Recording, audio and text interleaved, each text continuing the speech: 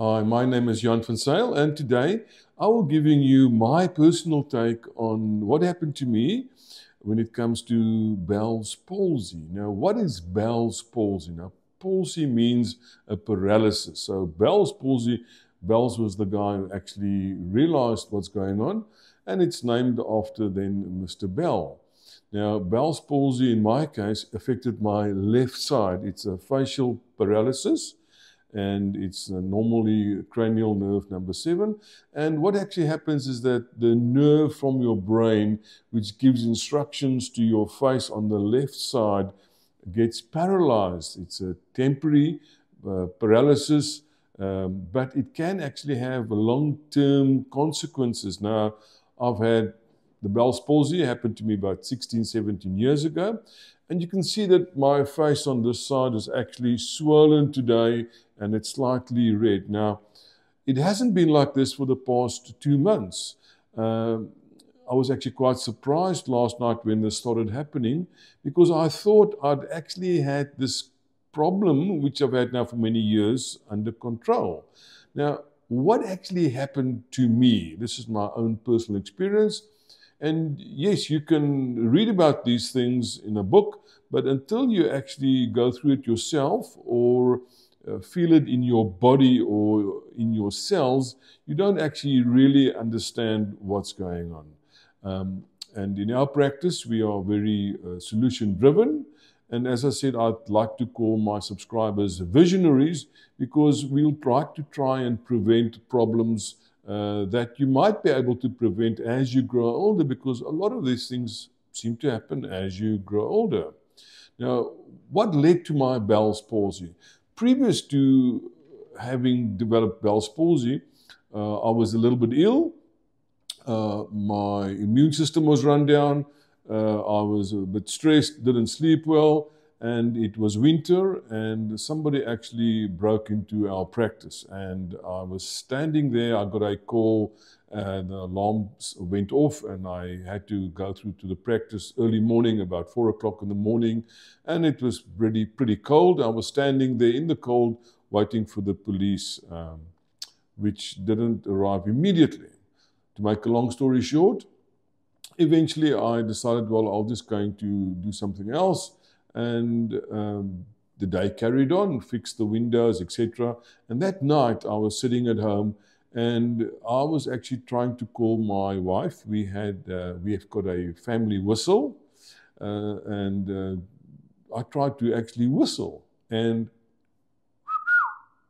I couldn't whistle.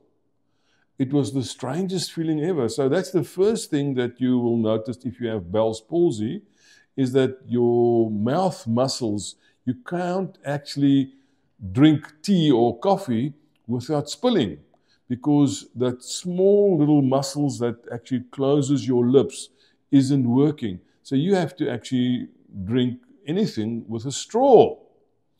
Um, now, the first thing most people do is they actually, like in my case, uh, you go, is it a stroke or is something else? Now, I knew that it was most likely Bell's palsy, but I still actually found a doctor friend of mine and we went through and he just double checked me. Now, I straight away knew what I had and I knew what to do at that stage. But I still did not do the 100% correct thing. So, the first thing you need to do is you need to get to your doctor, which will normally prescribe something like prednisone.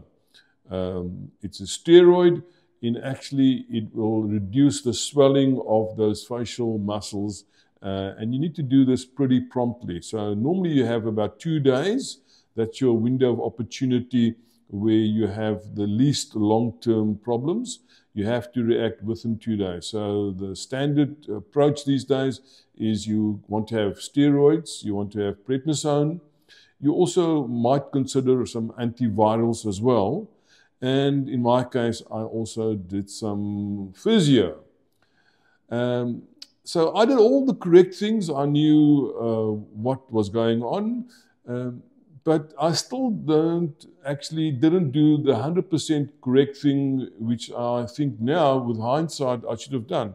the one thing which I did not do, and I, nobody told me about this, it's not written up anywhere, it's my own personal um, theory on why I'm still having problems many, many years later, is that when you have Bell's palsy, your jaw actually hangs, your muscle hangs, your face hangs. It hangs because there's no actually uh, any nerve supply to the facial muscles or those tendons. So those tendons on this side actually stretched. Uh, the tendons stretched, uh, my face sagged, it hanged, I couldn't speak properly. I couldn't drink uh, water or coffee. Uh, normally, I had to use a straw with everything. But the most important thing is, I actually couldn't blink as well. Now, that is one of the most important things uh, which you don't realize. And again, as optometrist, we know these things that when you have Bell's palsy, your automatic blinking system gets shut down. So you can still blink, but every time you blink, you have to actually think, blink, think, blink. And your eye blinks a lot. It blinks a lot. And I forgot, literally in the first couple of days, I forgot to think, blink. And then I would like just look at something and I would go, but I can't see nothing with my left eye. So my left eye because it wasn't blinking automatically, actually dried out. And that is one of the biggest dangers that you face is you face a corneal problem, a drying out of your eye. And if you want to just see how quickly your eye responds to not blinking, you are welcome to do the following. Grab hold of your eyelids, keep them open and try and keep them open like this without blinking for 60 seconds. And you will find that it is pretty difficult to do. It's nearly impossible. But suddenly, that reflex, that automatic blinking, now totally gets shut down. So that is the one of the biggest dangers that you can have when you develop Bell's palsy is you can actually have a corneal problem and the eye will actually literally you might actually get an infection because every time you blink there's special tears that's made by your skin which lubricates and feeds the eyes and protects it. Now, suddenly that whole system is shut down. You will not know that you are not blinking because that, that system, that automatic blinking is shut down. You can still do voluntary blinking, but you cannot do that. Just forget about my eyes. It'll do the work automatically. You can't do that, unfortunately. And one of the other things which I only realized many years later is the fact that this jaw of mine was actually damaged. The nerves was damaged, uh, and it also damaged the nerve supply to my saliva gland. Now, if there was one thing that I should have done, and as I mentioned, nobody told me this is this is just my own philosophy. At night, when you go and sleep, you need to do the following. You literally need to bandage your chin and your head together so that you can keep your muscles and your tendons together. Because otherwise, when you are sleeping, everything is relaxed and it actually will stretch those muscles and tendons even more. And in my case, I suspect that uh, it never healed properly. So that's the first piece of advice is make sure that you're actually bandaging your head at night so that you can keep everything together until that natural strength and tonus is actually resupplied. Once that nerve starts working, it can be a couple of weeks, can be sometimes it's intermittent, sometimes it recovers pretty quickly if you are fortunate. But I have seen many patients that years later still have a droopy face or droopy lid. If you look carefully at me, you'll see my left eye also is a little bit droopy. And if I'm stressed, and again, uh, if I develop this type of condition where my face is swollen, then I sometimes can't speak properly. And I also find more discomfort. Now, why has this happened to me? What is going on? Now, I suspect, and I've been to numerous doctors over the last 15, 16 years, um, I suspect that the nerve supply to my saliva gland was uh, affected, and my saliva gland actually doesn't work properly. So the saliva that goes out when you eat your food is reduced, the flow is reduced, uh, and the doctor said to me, it's like sludge. That was his words. Uh, and to, again, to make a long story short, uh, after I heard this information, uh, there was various options which the doctors told me I could do, but surgery is not one of them. Uh, it's, uh, I would not advise surgery to be done. So what did I do? Um, logic told me that if I was having too little saliva, uh, and what actually happens is that the saliva becomes thick, and if you drink too little water, so drink lots of water, make sure you drink lots of water. And also, I actually started sucking a little pill, uh, anything that I could actually stimulate my saliva gland. So, my saliva gland on my left side is not fully functional. And this is, this is the longest in 17 years, literally, that uh, my face was not swollen for two months. Uh, but then I had a holiday, and of course, uh, during holidays, you drink a little bit too much and you have uh, some food which you normally shouldn't be eating, and of course, some dessert and chocolates. And now I'm bearing the consequences for that. So you need to be more careful with your diet once you've had Bell's palsy. You might also find that your body is a little bit more allergic. So there's two reasons why my cheek would actually swell. The first reason would be that the, the saliva excretion is very slow. There's a stone that forms in my, uh, my channel, my salivary gland channel that leads to you, that puts the saliva in your mouth.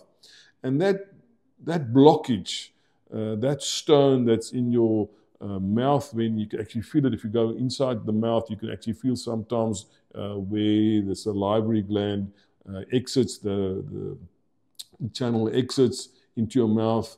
Uh, you can actually feel there's a stonal blockage. Um, you can try and use some lemon juice, you know, literally just rinse your mouth out with some lemon juice because the stone will get dissolved by the lemon juice.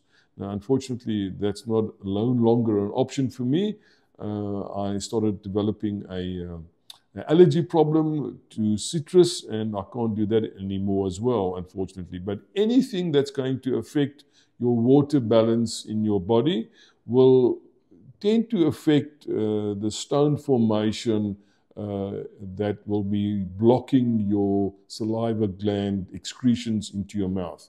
Now, once that happens, any food that you drink it can't go through the channel into your mouth.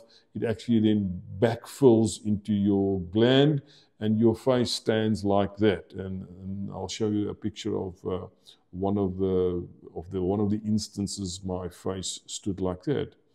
Um, to a large extent now, through trial and error, I've actually been able to resolve most of the problems which I've had with my salivary gland. Uh, do not eat bubble gum. You don't want this jaw. Remember, this jaw now is weakened, the muscles is weakened, uh, the tendons have been stretched. Don't go and eat bubble gum or something that is like very tough or chewy.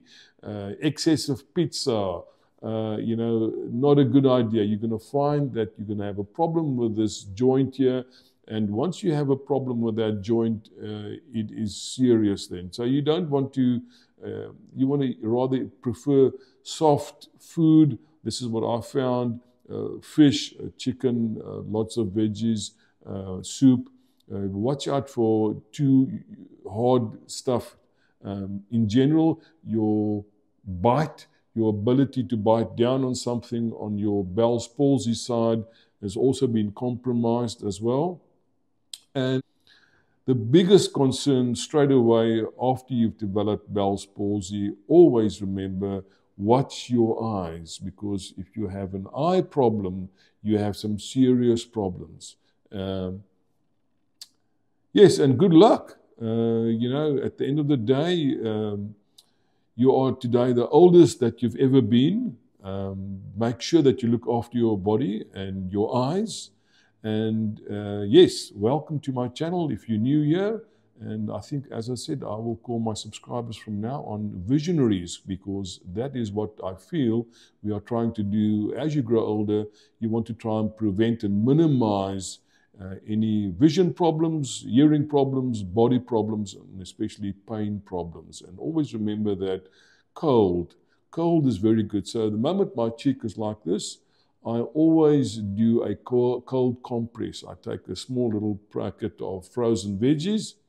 And uh, if you have a similar problem like I've got, you will fi find that your cheek is hot. So I would use a cold compress. And sometimes I would also just put some Vicks on that affected side at night. Uh, and sometimes my cheek is so hot actually that the Vicks would actually literally like melt down. But the moment you do that, uh, I find that I have most often just about instant pain relief, uh, and it's it's terrible walking around like that. Uh, you can't, cannot eat. You are hungry later on, but you know that if you eat now, your cheek's going to just swell up more, stand out, uh, and you're just going to have more problems. So um, going without a meal sometimes is uh, not the easiest thing, can be good for you as well. Any questions you want to know about uh, what I did in more detail for my Bell's palsy, you're welcome to contact me.